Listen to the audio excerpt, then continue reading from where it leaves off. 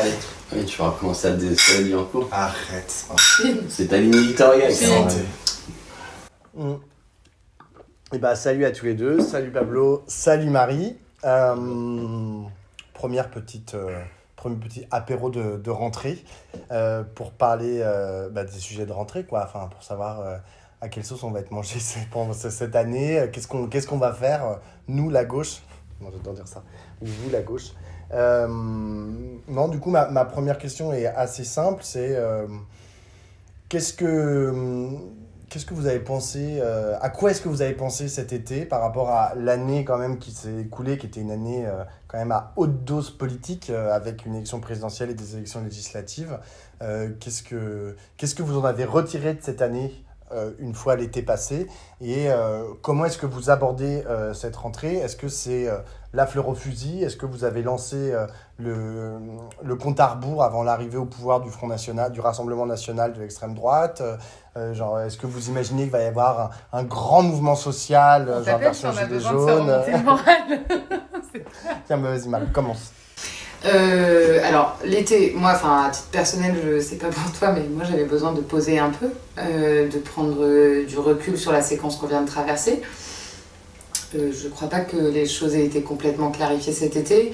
Euh, ceci dit, du coup, ça euh, nous a rendu peut-être euh, en partie spectateurs ou acteurs dans notre vie privée, mais spectateurs des événements d'un été qui a quand même été marqué par la canicule, les feux. l'inflation, les débats sur le pouvoir d'achat qui m'ont parfois un peu échappé, j'avoue. Des, des questions de, de rentrée qui sont quand même très compliquées, à la fois à l'hôpital, à la fois dans les services publics d'éducation. euh, Et sur le barbecue et sur le barbecue, euh, question clairement qui, Mmh, qui m'a passionnée au, au plus haut point. Euh, ceci dit, elle, elle est intéressante à regarder, je pense, avec un peu de recul. Je suis pas sûre que le, le- le débat en lui-même quotidien soit passionnant sur la question. Euh, en tout cas, je trouve que euh, on voit une société française en mouvement, euh, vraiment intellectuellement, sur beaucoup de sujets, euh, avec beaucoup d'à-coups, et je suis pas sûre, encore une fois, que euh, toutes les parties de la société française, que ce soit géographique, que ce soit sociale, toutes les fractions qu'on peut connaître, soient touchées par les mêmes débats,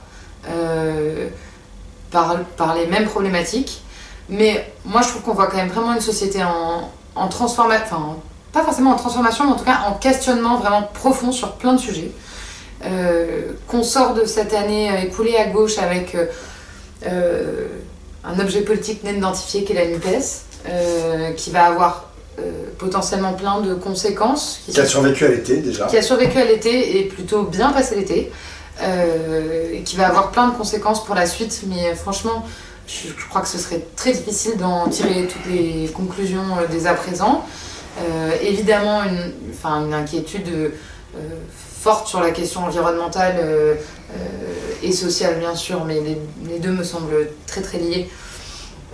En cette rentrée, avec un gouvernement qui a annoncé des choses, des principes, a, dit des mots qu'on n'attendait pas. Je veux dire, on va pas se cacher qu'on ne s'attendait pas à ce que Macron parle de la fin de l'abondance, avec tout le hiatus qu'il peut y avoir avec la réalité de la politique qu'il mène et ou la réalité de la manière dont fonctionne notre société.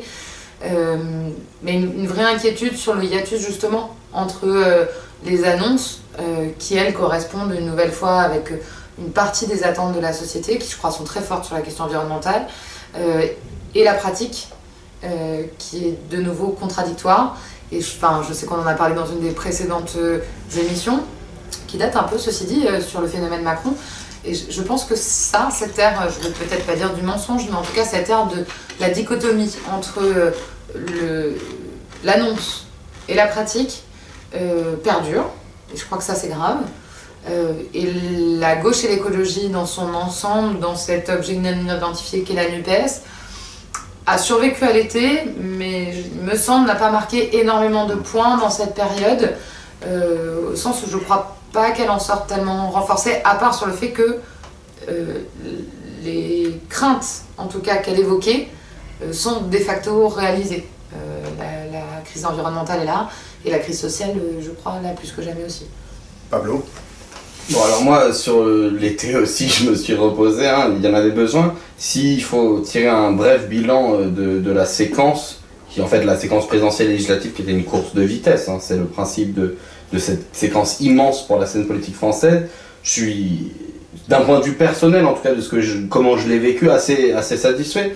Parce que moi, je l'avais la dernière fois, j'avais l'impression qu'il y a une confirmation quand même d'un certain nombre de grilles d'analyse qu'on a posées, euh, en tout cas avec la France Insoumise et d'autres, euh, sur euh, la période et sur les possibilités stratégiques qu'il y avait devant nous. Et deuxièmement, moi, au point de vue très personnel, hein, j'ai milité avec un collectif de militants qui est parti de 6 et qui est arrivé à des sommets. On est parti de 500 et par un pro phare. on connaît la, la, dire, la, la, belle phrase, mais il y avait un, truc de ça et j'ai eu mes premières réunions de rentrée et des gens extrêmement motivés et surtout des gens qui n'avaient pas, euh, comme moi, euh, comme d'autres, comme moi, euh, milité pendant des années et qui sont présents et qui ont envie de faire plein de choses. Donc ça, c'était la satisfaction de voir des gens avec des profils un peu différents aussi. Des profils comme le mien, il y en a toujours dans les organisations politiques. Et des profils, là, des gens, par exemple, je pense dans mon groupe d'action, un peu plus précaires, qui ont des, des, des, activités professionnelles dans les industries créatives, dans plein de trucs, ou une espèce de précarrière qui était ressemblant en partie à la sociologie d'une partie de notre électorat. Et c'est intéressant de voir ces espèces d'agrandissement possible quand la dynamique se fait. Bon, et ensuite, euh, sur la rentrée, je dirais que c'est une rentrée sous le signe euh, de la répétition tragique et euh, de l'ouverture de temporalité contradictoire. Répétition tragique, pourquoi? Parce que dès, dès 2017, après le très bon résultat qu'on avait obtenu, on avait l'impression que la séquence n'avait absolument pas réglé les, les, problèmes qui se posaient à nous. Et là, on est dans cette répétition-là. Sauf que je dis tragique parce qu'elle est encore plus redoublée. Euh, là, je dire, la crise énergétique, de l'inflation, du pouvoir d'achat, on va voir comment ça va se, se enfin, comment ça va ensemble s'alimenter et potentiellement être un choc extrêmement violent. La crise politique qui a pris un, nouveau coup parce que finalement, paradoxalement, on a l'impression que bon, ça va, alors qu'il n'y a pas de majorité. Et en même temps, il y a plein de si, de possibilités euh, pour que ça dérape d'un jour à l'autre. Je veux dire, la droite, euh, si Ciotti gagne son euh, congrès des républicains en février, qui commence à vraiment essayer de faire une opposition à l'Assemblée, est-ce que... Ouais, ben non, je crois que c'est. Non, c'est en décembre. décembre Ok, ok, ben, autant pour moi. Là, tu vois, genre, si la droite a une autre attitude, joue le Sénat, et plus l'opposition à l'Assemblée, que ça commence à bousculer, est-ce qu'il y a dissolution, pas dissolution? Moi, c'est pas une certitude, ou... mais on, on voit bien qu'il va y avoir une temporalité de court terme extrêmement dure qui va consister à affronter une crise sociale, les conséquences de la crise climatique, parce que là on a vu cet été, tu, tu l'évoquais Marie, mais en plus on nous prévoit des épisodes orageux extrêmes. Moi je viens de, des Alpes-Maritimes, je me rappelle de ce qui s'est passé dans la Roya la dernière fois, etc. etc. Donc euh, on a plein de, de, signes que on va affronter crise politique, crise sociale, enfin tout ce qu'on a décrit pendant dix ans, mais de façon de plus en plus vivante.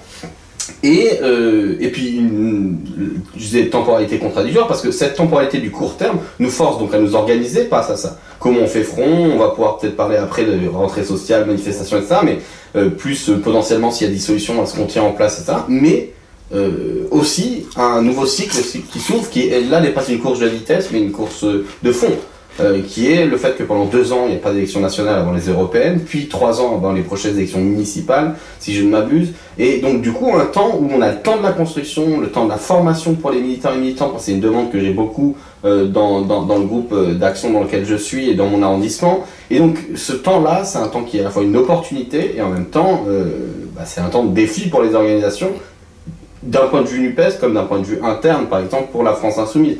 Donc euh, voilà, euh, c'est dur de mener deux fronts en même temps. Des fois, on a beaucoup de mal à en gérer qu'un seul. Donc, euh, donc voilà, surtout sur ce fond de répétition tragique.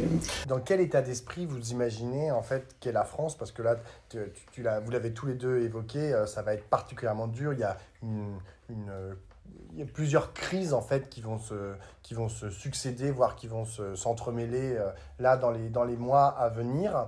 Et pourtant, euh, quand on regarde par exemple une étude assez, euh, assez fournie euh, de la, de la Fondapol, donc qui est un think tank plutôt de, de droite, hein, libéral, mais qui a fait une étude sur, en fait, qui conclut que ben, la France est plutôt à droite, à la fois bah, dans son électorat, enfin ça on l'a vu aux, élections présidentielles et aux élections législatives, parce que même si la, la gauche a sauvé les meubles ou même fait des bons scores, il n'en demeure pas moins que si on ajoute la droite et l'extrême droite, bon, bah, ils sont ultra majoritaires. Et donc, c'est un peu la, la, la, conclusion, on va dire, dans les valeurs, c'est ce que conclut la, la, la Fondapol.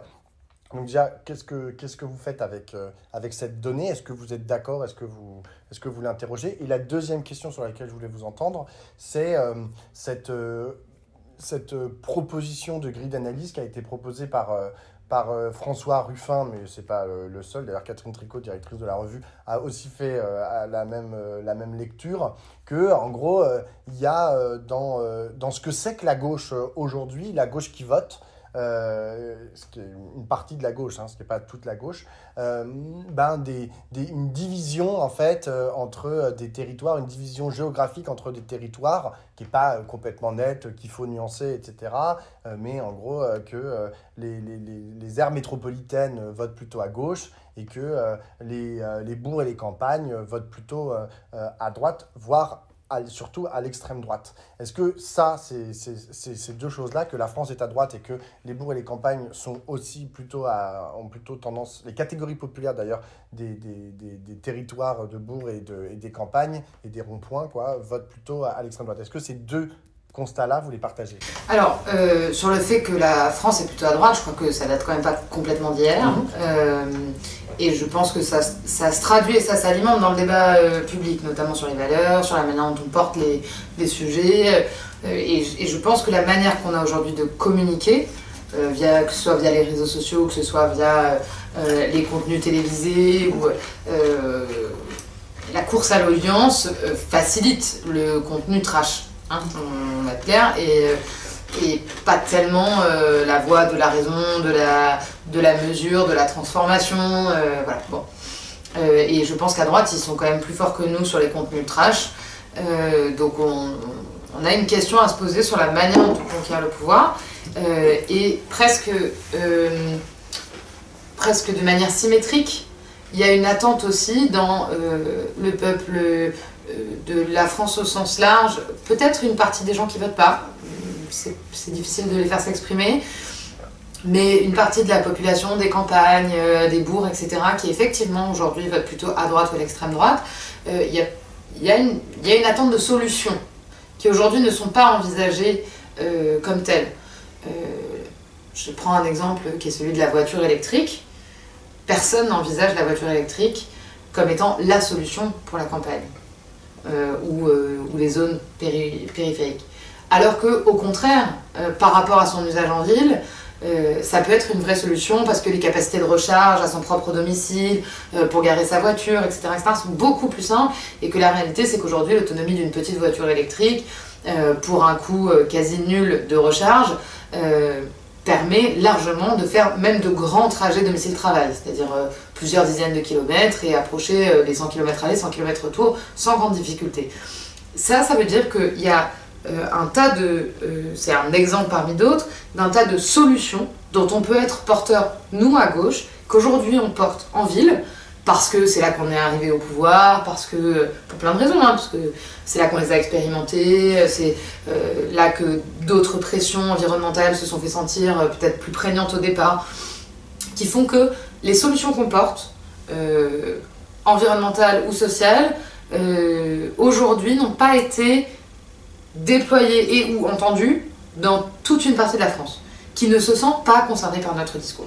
Voilà. Donc à un moment donné, il faut quand même qu'on se pose la question, qu'on s'assoie et qu'on réfléchisse trois minutes.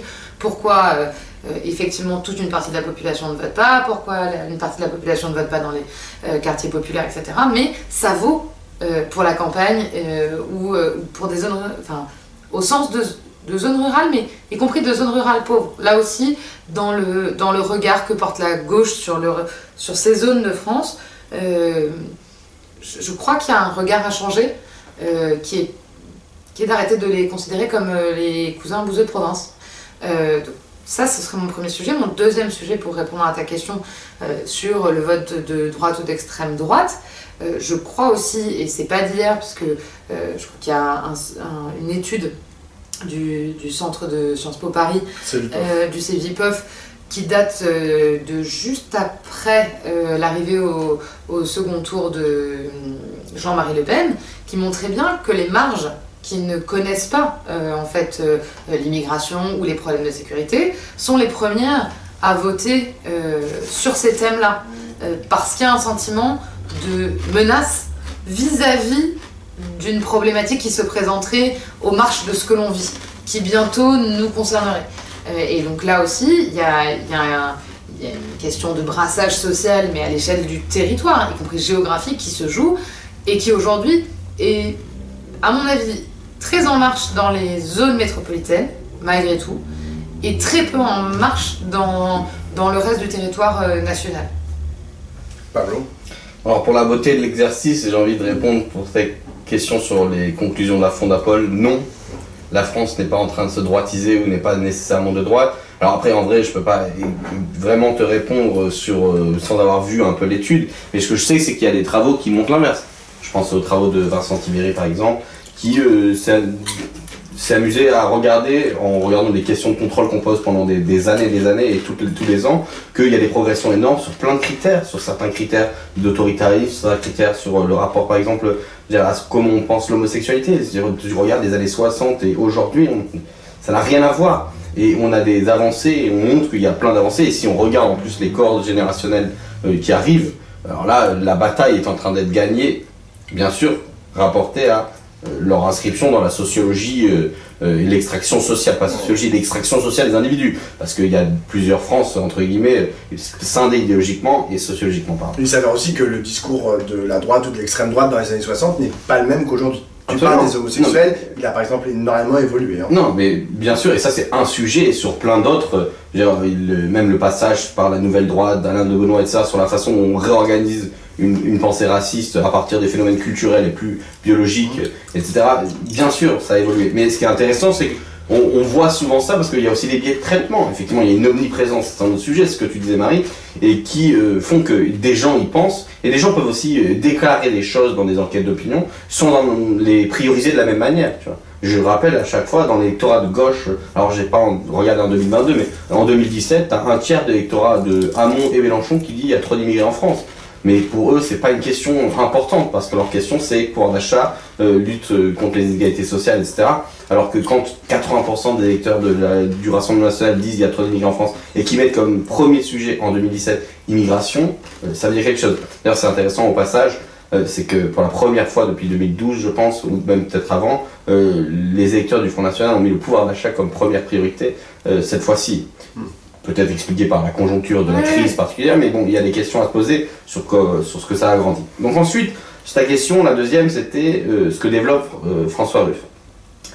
François Ruffin, je l'ai vu aux universités dans, euh, de la France Insoumise, il a fait une conférence où j'ai trouvé qu'il avait des raisonnements assez fins et qu'à France Inter, il nous a fait genre, la démonstration de sa capacité à dire n'importe quoi quand il n'a pas le temps de développer et être assez caricatural. Donc François Ruffin, c'est à double tranchant pour, débattre de, ce qu'il avance, mais ce qui est vrai, c'est que, euh, tu vois, dans la, conférence aux amphis, il dit Je vais vous parler des bassins d'emploi en désuétude. Et là, j'ai envie de dire, ça, c'est une- un espace géographique dans lequel j'ai envie de discuter, parce que là, on ne parle pas simplement de quel est le nombre d'habitants, quel est le. Mais on parle de d'une intégration particulière sur le marché du travail, d'un rapport particulier des fois aussi à la propriété, parce que en fait quand tu es petit propriétaire euh, euh, dans une zone périurbaine, bah, quand la gauche euh, elle dit on va taxer l'héritage, on va taxer ci, t'as pas le même rapport parce que tu as une socialisation dans des structures, qu'elles soient de propriété ou de travail, qui sont très différentes. Et c'est là le débat qu'on aura avec Ruffin. Je pense que oui, il y a une question à, poser sur, entre guillemets, l'alliance ville-campagne, pour reprendre un vieux vocabulaire marxisant. Mais je pense que il y a une sous-estimation par Ruffin du cas de, la socialisation à droite d'un certain nombre de ces populations. C'est-à-dire qu'il euh, il a tendance à présenter quelque chose en disant il y a un rapport de l'électorat RN à l'assistanat, et je pense qu'il a absolument raison là-dessus. Et ce rapport-là, il s'exprime dans des bassins d'emploi, des études, où des gens travaillent, sont en stress, etc. Mais il a euh, souvent oublié de questionner est-ce que ces gens-là, sur des questions qui n'ont pas rapport à l'assistanat, répondraient des, potentiellement euh, avec des positions de gauche sur des sujets, euh, le genre, l'écologie, le- ce que tu veux. Et bon, bref, du coup, je pense que pour l'instant, le, le débat. euh, Attends, mais Du coup, juste pour bien comprendre, toi, ce que tu dis, c'est que ces populations-là, comme tu dis, euh, on doit les abandonner. Elles, font plus, elles sont plus de gauche et genre, on n'a plus rien à faire avec, euh, genre, en gros, les populations euh, euh, les catégories populaires euh, des bourgs et des campagnes. Non, je dis pas qu'on va les abandonner, ça c'est exactement le même raisonnement que Pierre Ruffin. C'est-à-dire qu'à partir du moment où euh, on n'est pas d'accord avec lui, on les abandonne. Mais enfin, je rappellerai que dans notre programme, la question de la classe sociale, d'obtenir des bénéfices, d'un travailler mieux et d'un travailler pour, pour plus d'argent, elles sont présentes. Donc la question c'est comment ça se fait qu'avec un programme aussi offensif sur ces questions-là, ça ne leur parle pas. Et donc il faut peut-être essayer de trouver d'autres raisons. Je dis simplement que il y a des populations qu'on, oui, qu'on ne récupérera absolument pas il faut continuer à essayer de proposer des choses. Je dis juste que, euh, en fait, pourquoi il y a un vote euh, Rassemblement national qui s'est ancré dans la classe populaire? Parce que la proposition du Rassemblement national est effectivement extrêmement efficace. Elle dit, écoutez, il y a un nombre de ressources limitées, on va pas augmenter la, dose de ressources qui est possible, donc qu'est-ce qui se passe? Eh ben, on va réduire la protection sociale en enlevant les étrangers dedans. On va faire en sorte que vous, les méritants, vous gagniez plus, mais à condition de sacrifier une partie de la population. Et de l'assistanat, le cassos, comme il dit, etc., on passe très vite à, euh, genre, euh, l'arabe, le noir, le truc. Et c'est comme ça que se développent ces discours. Et donc, euh, je, Mais le discours de base, le discours de la gauche, ou en l'espèce le discours de Jean-Luc Mélenchon et des Insoumis, il n'y a rien à changer. En fait, il est bon, c'est juste qu'ils comprennent pas. Non, mais je pose. Non, c'est pas ça. C'est je dis, je pose la question de pourquoi avec des gens qui ont aussi des caractéristiques similaires. Ça euh, effectivement, en dessous d'un certain seuil, les demandes sociales explosent et donc le vote à gauche est plus fort. En dessous de 900 euros, on a gagné la bataille, par exemple, de l'électorat en 2022. Mais de 1200 à 1700, donc c'est un endroit où tu, tu bosses, mais t'es mal payé. Euh, il y a une question et le Rassemblement national a, a, gagné par rapport à nous. Mais ça n'empêche qu'il y a quand même aussi des gens massivement qui, dans ces professions-là, ont voté pour nous et pas pour le Rassemblement national. Donc pose-toi la question de pourquoi. Alors d'abord, tu peux dire. C'est là que c'est là qu'on on a pas exactement la même approche et je connais pas particulièrement bien celle de Ruffin. C'est là que je pense que euh, le critère territorial joue. Et il joue à plusieurs titres. Il joue parce qu'une partie de nos propositions, euh, c'est ce que j'évoquais tout à l'heure, ne sont pas aujourd'hui calibrées pour cet univers-là. Elles sont pas conçues et elles sont pas parlées par des gens qui partagent ce vécu euh, rural. Ça, c'est le premier sujet. Le second sujet, c'est qu'après, effectivement, la socialisation, elle se nourrit. C'est-à-dire que quand euh, euh, petit, à, petit, euh, le, la norme dans son bassin d'emploi, de, mais pas au sens sociologique du terme, dans son, dans son cercle amical, d'emploi, de voisinage, finalement, bah, la priorité, c'est le pouvoir d'achat. Le deuxième réflexe, c'est euh, l'écolo-bashing. Euh, le troisième, c'est parce que effectivement on est petit propriétaire, parce que machin, euh, de considérer que soit on va se faire spolier par l'extrême gauche, soit on considère que c'est un programme inapplicable parce que nous on sait bien compter les sous et que là il n'y en aura pas assez. Et que le dernier truc, c'est de se dire, après tout, si on nous dit que dans les villes, il y a beaucoup d'assistés, ce qui doit bien en avoir. D'ailleurs, moi, je connais bien quelqu'un cette sociologie, elle se nourrit. Euh, je veux dire, euh, c'est la tâche d'huile de la question de la bataille des valeurs. Et là aussi, on a un sujet parce que, euh, encore une fois, cette bataille, elle se mène, elle se mène probablement en partie sur des plateaux télé, sur les réseaux sociaux, etc. Mais elle fait tâche d'huile dans des endroits où on ne sait pas arriver. Et là où les, les poches de résistance qui existent dans des zones rurales, moi, dans la circonscription dans laquelle j'étais, euh, où une parlementaire France Insoumise a été élue, euh, il y a des élus, pour le coup, socialistes depuis extrêmement longtemps. alors, ils avaient beau avoir leur candidat dissidente, etc., au premier tour. C'est des gens qui travaillent un terreau dans lequel, finalement, on finira par voter à gauche. Dans d'autres territoires, et des territoires pas très éloignés, bah, finalement, ce tissu euh, local qui prend des petites initiatives, pas des trucs de fou, mais qui fait euh, euh, des choses de solidarité au quotidien, des petits projets, pas des trucs, nous on trouvera que c'est jamais assez, que c'est pas au bon niveau, que ça, ça n'adresse pas la question écologique ou sociale de manière suffisamment d'ampleur, enfin ils font quand même des trucs, et bah, tout ça, ça maintient un terreau. Quand ce terreau il est plus maintenu parce que bah, petit à petit la paupérisation ou le sentiment de précarité grandit, euh, et il grandit avec l'idée que ben, on est très distant de la ville, notre mode de vie est très distant de la ville, alors que, objectivement, ce sont des territoires qui n'ont jamais été aussi bien reliés à la ville. Par contre, proportionnellement avec les individus qui vivent en, qui vivent en métropole, ils n'ont jamais eu autant d'écart d'accès à la ville. Laissez-moi Vas-y, sur- non, mais sur le laissez-moi calibrage. inverser le jeu et tu as fait une liste extraordinaire. Tu as dit euh, Moi je compte bien mes sous, pas la gauche. La gauche va nous spolier. euh, euh, je fais de l'écolo-bashing. Et, euh, et euh, je crois que les gens qui travaillent moins que moi sont des assistés. Qu'est-ce que sont ces caractéristiques? Moi j'appelle ça une personne de droite. Si vous rajoutez sur ça la tendance à la xénophobie, à euh, la panique sécuritaire, euh, à la panique identitaire et euh, derrière, genre, enfin, qu'est-ce qui reste qui est une caractéristique qui vous fait penser que ces populations peuvent être de gauche? C'est pas grave, il y a des classes populaires de droite, Bah, son il y en a mode de- toujours eu. Quoi Son mode de vie. La précarité, euh, Mais sauf que c'est- le rapport, mais le, en justement- fait, le, le rapport en fait à l'identité, à l'identité de classe qui n'est pas Mais- conscientisée. Et il n'a Mais- surtout pas toujours été. C'est un peuple qui n'a pas toujours été de droite. Mais et juste- donc je dis juste que ça peut se transformer. Aujourd'hui, je, par- je partage ton point de vue. C- Cet ensemble, ce que je disais là, c'est que cet ensemble se nourrit, si tu veux, euh, et que petit à petit, il te gagne un secteur. Mais sur l'absence de Mais- calibrage, choses, mais là. réponds sur la- l'absence de calibrage du Mais discours de la justement, gauche. qu'est-ce- je te le dis. quel est le calibrage différent que, que comment tu différencies un calibrage Déjà par exemple quand tu fais une politique sur les salaires ou, ou sur ce que tu proposes, bon alors la seule proposition concrète de Ruffin là-dessus c'est de dire il faut euh, universaliser les droits. J'ai aucun désaccord avec ça, pourquoi pas etc. Je pense que ça changera pas grand-chose, mais concrètement on dit la même chose quand on dit au type euh, on va augmenter les salaires et y compris on va augmenter l'arc des salaires au-dessus. C'est- donc pas la question du calibrage, le calibrage ne change rien, c'est bien une question de pression. Enfin, je, je vois vraiment pas qu'est-ce que quand on peut dire tu vas gagner plus, tu vas payer moins d'impôts et euh, genre euh, et auras plus de services publics dans ton village, plus une poste, euh, des transports. Qu'est-ce qu'on peut dire de plus? En vérité, je te dis, c'est Je crois, je crois que c'est- Si je peux me permettre, je pense que pour moi, c'est pas le fond de la proposition qui pose problème. C'est la manière dont on l'incarne et dont on l'illustre. Aujourd'hui, quand on incarne euh, les transports alternatifs, etc., etc., on va parler un peu du train, du vélo et un peu de voiture électrique. La voiture électrique, qui je pense peut être une solution importante en zone rurale, elle n'a pas du tout cette image aujourd'hui.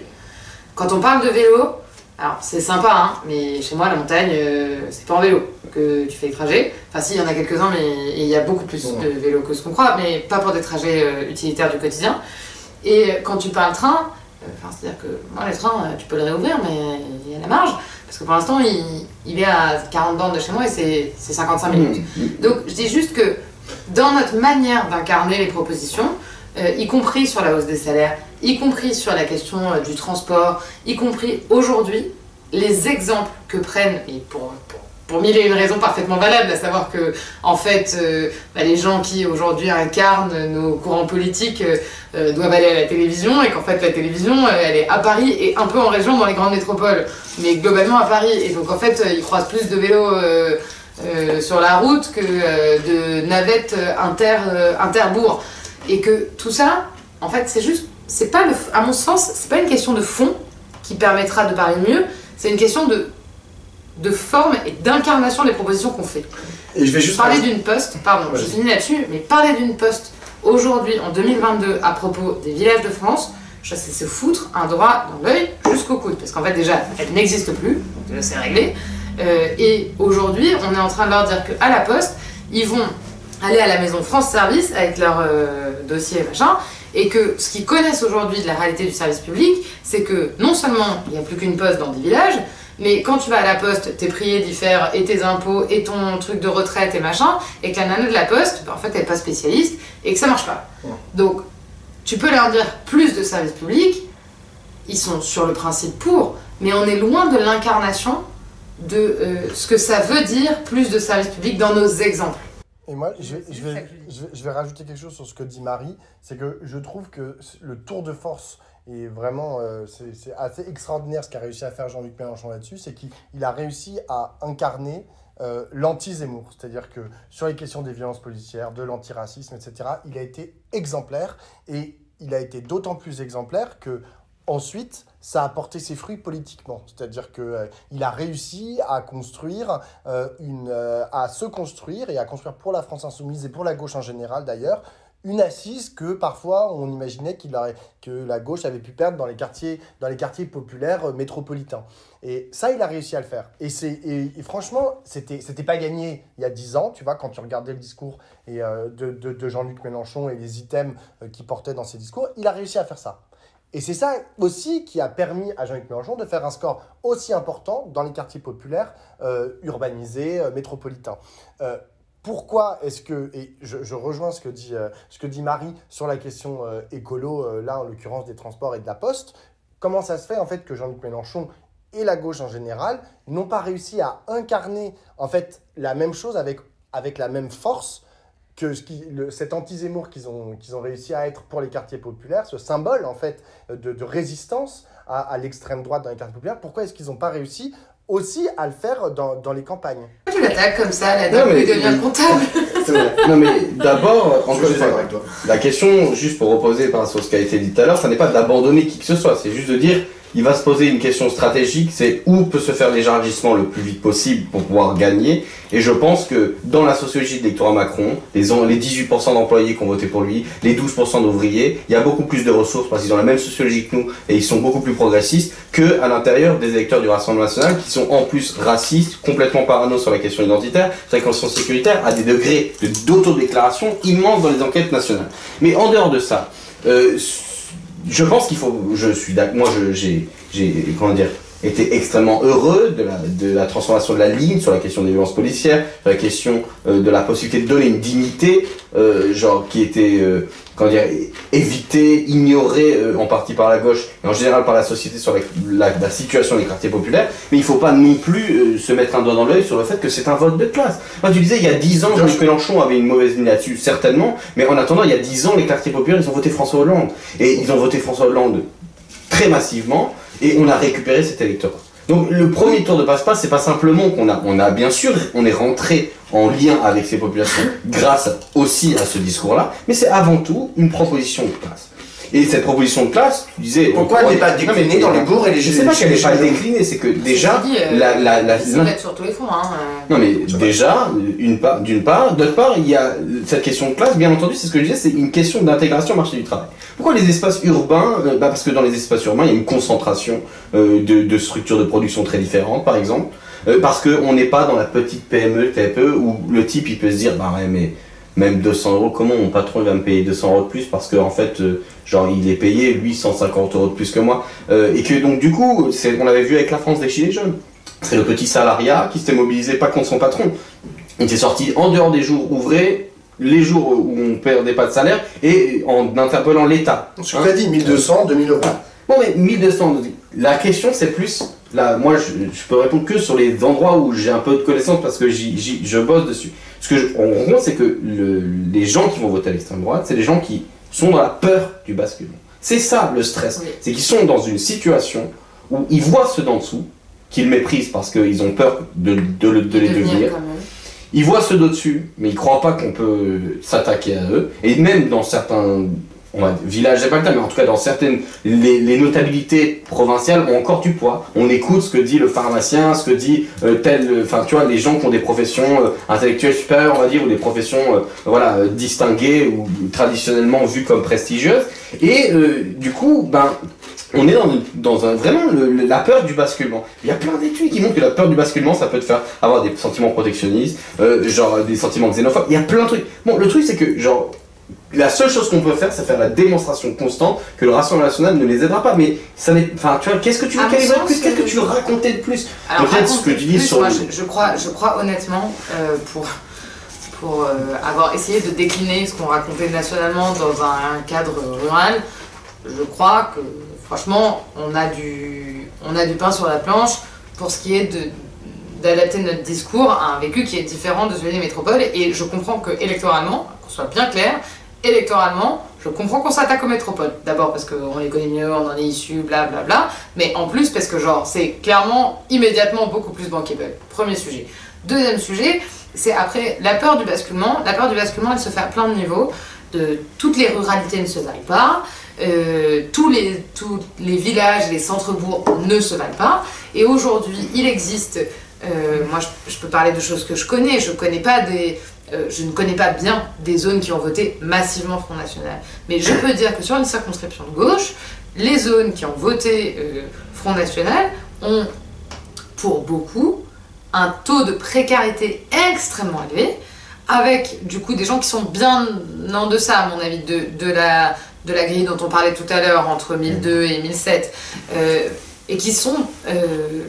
Il y, a quand même des votes différents dans, ce, dans cette. Ce que je veux dire par là, c'est qu'il y a quand même des votes différents dans cette sous-catégorie du, euh, des gens qui ne votent pas France Insoumise ou Gauche Radicale, etc., qui peuvent voter Macron, euh, et, et d'autres qui peuvent voter Front National. Il y a des sous-catégories. C'est-à-dire qu'il y a vraiment des populations extrêmement précarisées dans les zones rurales et qui sont arrivées pour certains en zone rurale parce qu'ils sont déjà précarisés de la zone métropolitaine. Euh, et que la zone métropolitaine, euh, chez moi c'est Tarbes, alors précariser de la zone métropolitaine de Tarbes, ça veut dire être quand même en grande difficulté. Et, donc ça, ce sont des gens qui sont dans une grande précarité, mais une précarité qui n'a pas grand chose à voir avec celle des métropoles, à laquelle on a beaucoup de mal à parler. Et après, pardon, je, je finis juste là-dedans, mais tu sais que tu as le droit de me couper. Euh, après, on a aussi une ruralité historiquement assez ancré à droite. Hein, euh, euh, l'agriculture a vu quand même euh, une tradition plutôt de droite s'installer, où là, je pense que, notamment sur les questions écolo, on a des choses extrêmement fortes à porter. mais alors, aujourd'hui, est-ce que, les gens ne savent pas se parler Je ne sais pas. Aujourd'hui, on a deux équipes face à face, dont l'objectif est quand même, notamment pour une partie des agriculteurs, moi ils vivent beaucoup de la PAC et de l'élevage, hein, donc euh, dans des zones de montagne protégées, etc., qui ont donc globalement le, même euh, objectif, à savoir faire vivre bien des agriculteurs en produisant de la qualité, et ils ne savent pas se parler.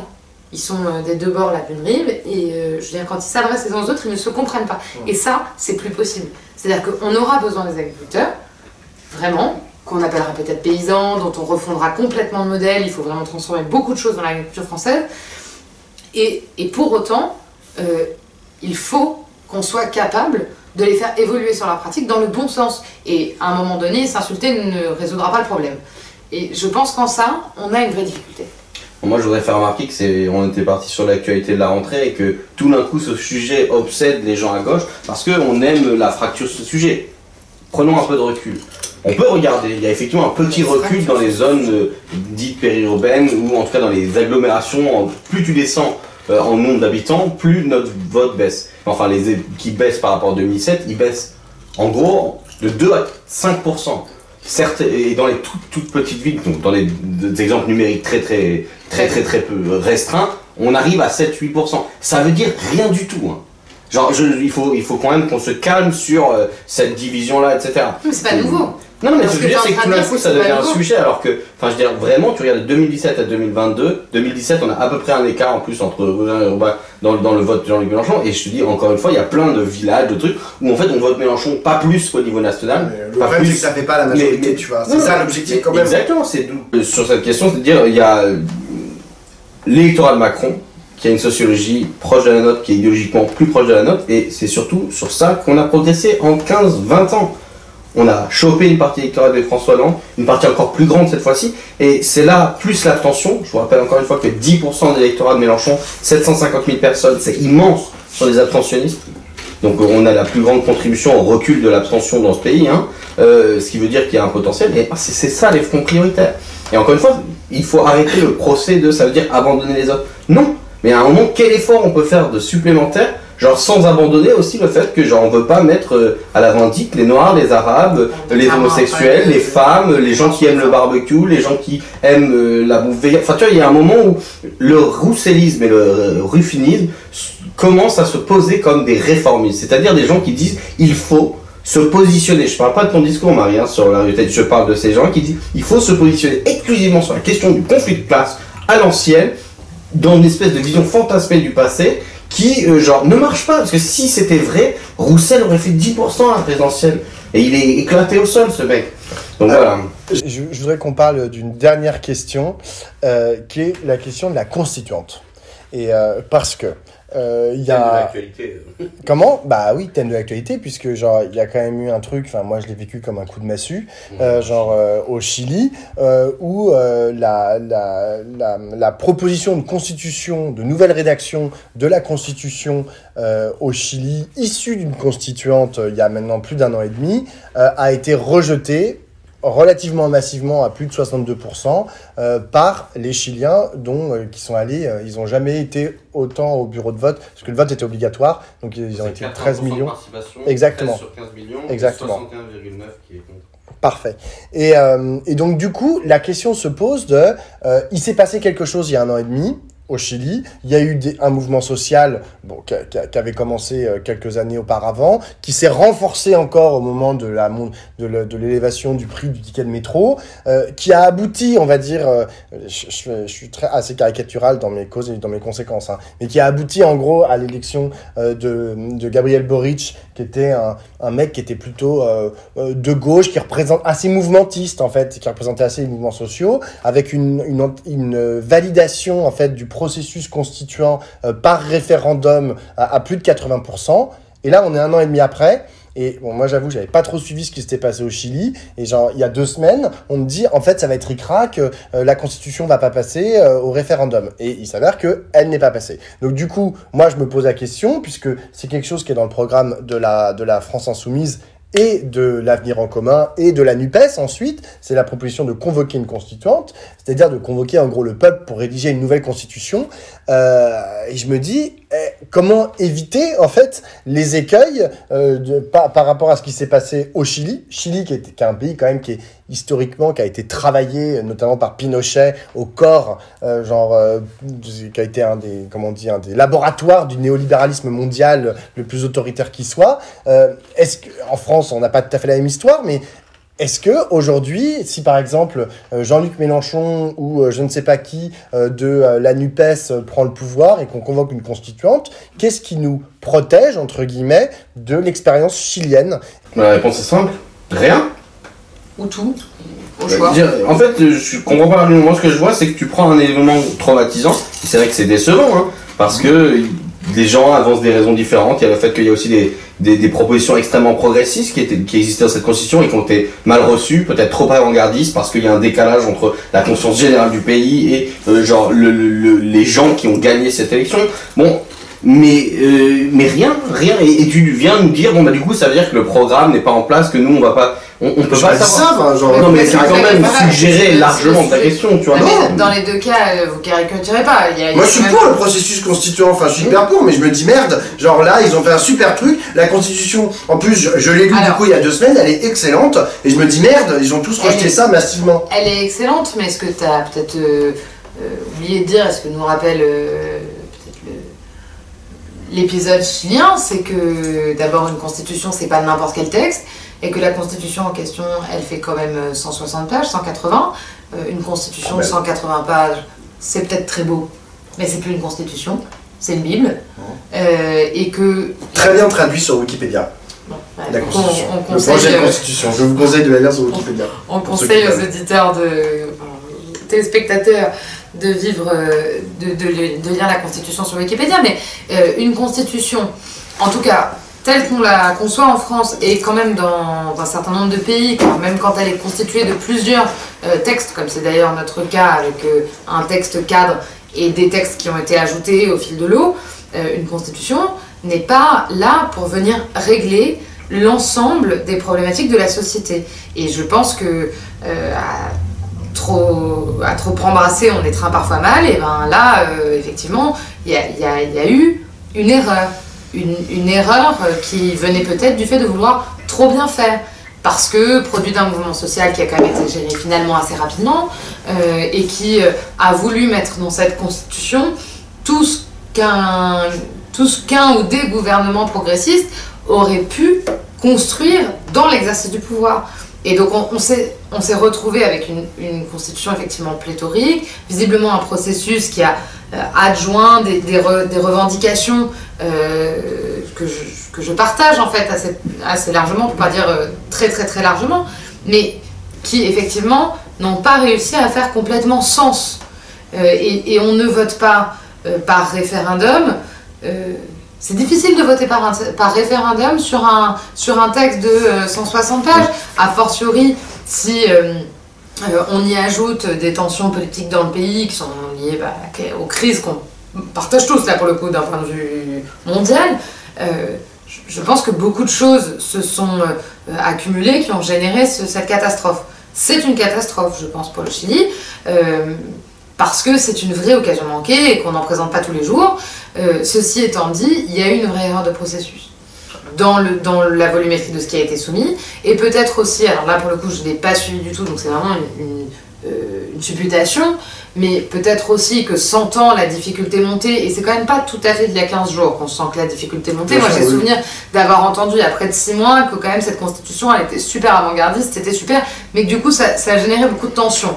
Et au fil des tensions, l'appareil d'État étant ce qu'il est, il trouve aussi des, solutions. Et donc aujourd'hui, le Chili n'est pas sans solution.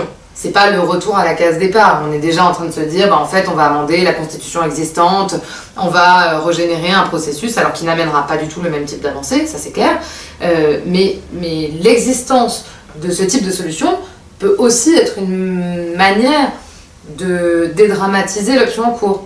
Donc euh, je pense que tout ça c'est lié pour aboutir, euh, bon pas, dans le bon sens, ça c'est clair.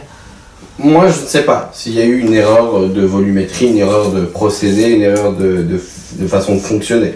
Ce que je sais, c'est que pour moi, euh, même si c'est un résultat décevant, ça ne change absolument rien au fait que c'est de tout temps, alors je déteste cette formule-là, mais on peut le dire là, peut-être pour le cas, les processus d'expression populaire et d'expression d'aspiration politique profonde, euh, genre, euh, peuvent euh, démarrer très vite. C'est la, la citation de Mao, euh, une seule étincelle peut mettre le feu à toute la plaine. Ils peuvent s'éteindre également extrêmement vite. On, on parle, tiens, les, les, les, les, révoltes des, des pays arabes euh, en Tunisie, euh, genre dix ans avant, personne ne pense qu'il se passe quelque chose. Ensuite, ceux qui ont observé a posteriori, ils ont dit ah ouais putain dans le sud du pays il y avait énormément de mobilisation et puis en fait c'était possible. Et puis ça a démarré et puis il y a eu des moments où euh, voilà ils ont aussi une constitution, ça a été compliqué. Il y a des moments où ça ça, ça s'embourbe les processus politiques parce qu'il y a aussi un moment où quand tu bascules, il y a des moments où la politique est vivante, tout le monde s'en empare parce que tu dois gérer le quotidien, parce que l'État s'effondre, etc. Alors on n'était pas à ce point-là au Chili, mais euh, et, et puis tout d'un coup, après, tu dois retrouver des procédures. euh, Enfin, je veux dire, euh, en, en vraiment, pareil, il y, a, y a des impossibilités qui se fixent toujours face à nous. Je pense que 15 ans avant la Révolution française, personne n'imaginait que le Oui. roi pouvait être, même en 89, quand ils discutent, tout le monde pense que le roi va rester, tu vois. Et puis il y a des basculements. Et je, je- pourquoi je dis ça? Parce que je veux faire le lien avec ce que je disais tout à l'heure sur la temporalité extrêmement inquiétante de la période. C'est-à-dire que pourquoi on doit être capable de répondre à la temporalité de l'urgence tout en essayant de construire sur le long terme avec nos débats stratégiques, etc. C'est que ceux qui gagnent, c'est ceux qui peuvent apparaître comme étant une solution pour, les, pour être aux responsabilités très vite. Et ce que je remarque, c'est que dans toutes les périodes révolutionnaires, des, basculements massifs de on n'est pas prêt à on peut être prêt sont incroyables. Les, les bolcheviks, deux, un an, deux ans avant la révolution, c'est des mecs en exil, genre euh, en Europe, qui se réunissent entre Londres et des pays scandinaves en exil, et puis tout d'un coup ils prennent la tête d'un pays, tu vois. Bon, et donc du coup la question c'est euh, les échecs populaires euh, sont toujours des leçons sur lesquelles on retire plein de choses. Je pense que l'expression de cette constitution, même si elle n'est pas euh, votée, elle va être des repères pour des gens, etc. Et donc du coup, en ce qui nous concerne, nous, on peut estimer que porter la question de la Constitution doit rester un objectif, que deux, euh, peut-être pour l'enrichir, il faut qu'on débatte plus largement entre nous à l'intérieur, parce que la position ça a toujours été, euh, on va pas donner de ligne sur ce qu'on veut dans la Constitution pour que les gens puissent s'exprimer, sinon c'est pas une vraie Constitution. Mais ça n'empêche pas qu'on peut organiser euh, le débat à l'intérieur de la NUPES, à l'intérieur des formations en général, euh, et même au-delà des partis politiques, dans les syndicats, dans le truc, il y a plein de, si ça devenait un, quelque chose qui constitue notre camp social, à droite. euh, bah, à droite, on, j'en Mais sais rien, mais où il y a une constituante, à droite, de genre- Ah non, bien sûr, mais moi ce que je parle, c'est comment notre camp social, Oui. la grande, la, la grande victoire de, de, de- entre guillemets, dans notre défaite de, dans la séquence présidentielle et législative, c'est qu'on a construit un camp social. La NUPES ne tient euh, peut-être parce qu'elle représente auprès des gens plus qu'une alliance électorale. Paradoxalement, elle est une alliance électorale, mais elle représente notre camp social qui s'est rassemblé suite à cette séquence-là. Et donc du coup, personne ne veut bouger. Euh, Les socialistes, ils ont très bien compris, ils jouent habilement leur jeu, ils ont compris que le premier qui divise, c'est lui qui payera le prix. Aux universités le, le camarade socialiste qui a pris la parole, il a fait un discours gauchiste, genre comme j'ai jamais entendu, tout le monde euh, euh, a hurlé, ouais, c'est trop bien, c'était hyper drôle, tu vois. Mais on sent bien qu'il y a ce jeu-là d'équilibre. Bref, du coup, là, c'est un peu confus comme intervention, mais vraiment de dire, euh, bon, euh, ça va être une leçon, et du coup, nous, pour faire le lien, c'est dans la Constitution, quels sont les écueils, quelles sont les pistes qu'on peut aborder, quelles sont les, les, les capacités juridiques qu'on doit engager pour aussi monter nous en compétences et en discuter. Après, dans toutes les situations, peut-être sur le décalage que je disais entre les gens, les propositions, c'est juste que on ne, on- la gauche ne gagne pas par effraction. On l'a répété plein de fois, mais c'est comme ça. C'est comme ça. Là-dessus, je, je partage ce point de vue. Je pense que euh, de toute façon, à, à à l'issue de ce processus, pour nous qui pensons qu'effectivement une révision constitutionnelle est importante, euh, à l'issue de ce processus, il y a des choses à apprendre. Euh, il faudra effectivement lire le texte avec euh, précision et analyse, se demander ce, qu'on n'y mettrait pas. Parce que je crois vraiment que la Constitution, c'est un exercice à la fois révolutionnaire et à la fois de synthèse. Ça doit être... euh, c'est compromis.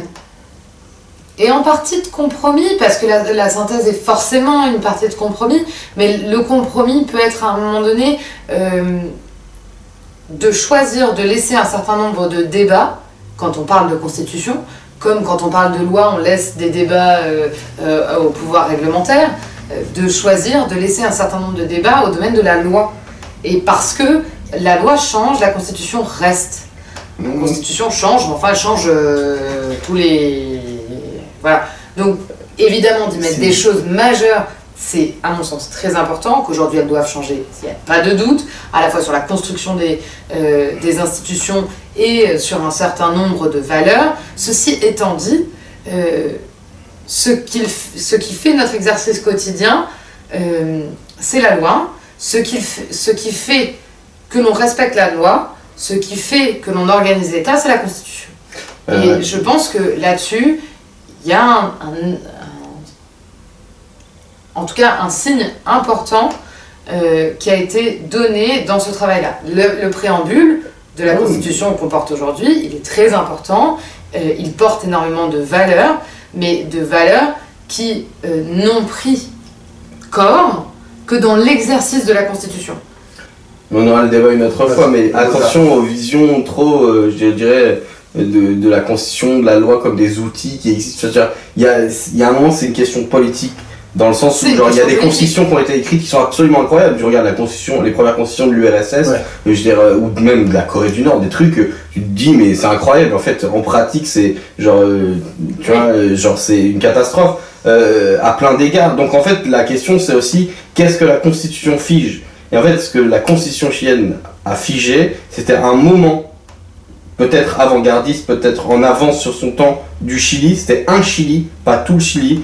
euh, et comme d'autres constitutions, et donc du coup, bah, elle, elle reviendra, peut-être. Oui. Mais et nous, pareil, on, la constitution, il faut, il faut- à gauche, on a souvent conscience à, à l'utiliser, enfin, avoir l'État, la constitution, la loi comme des outils, mais à un moment, il faut revoir que c'est derrière une machinerie politique et sur les valeurs, du coup, je te suis, mais sur, euh, bon, euh, sur le fait que, je sais pas, enfin, il y a un moment où on a une réflexion où, à mon avis, la, constitution dans la France insoumise, ça sera ma conclusion, euh, pour comprendre ça, il faut comprendre que c'est une possibilité de dire, nous voulons agrandir, approfondir la crise politique actuelle pour en faire ouvrir une période révolutionnaire de changement et que c'est la manière pacifique de le faire.